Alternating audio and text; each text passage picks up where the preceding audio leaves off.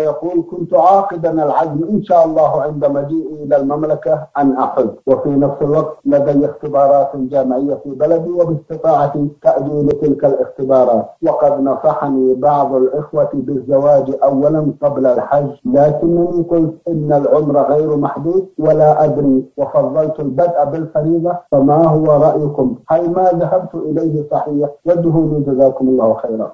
ما ذهبت إليه؟ صحيح المبادرة بأداء الحج. إذا تمكنت منه وسنحت الفرصة فإنك تؤدي بهذا ركنا من أركان الإسلام كما فعلته من تقديم الحج والعمرة على الامتحان وعلى الزواج. أمر لا بأس به بل قد يكون هو الواجب عليك. ما دمت تمكنت من الحج والعمرة ولم تحج قبل ذلك ولم تعتمر لقوله تعالى ولله على الناس حج البيت من استطاع إليه سبيلا. وقد استطعت الحج يجب عليك أداؤه. إلا إذا كنت في حالة تخشى على نفسك من الشهوة والفتنة وليس عندك مال يتسع للحج والزواج فإنك تقدم الزواج في هذه الحالة من أجل إنقاذ نفسك من الفتنة والوقوع في المحذور.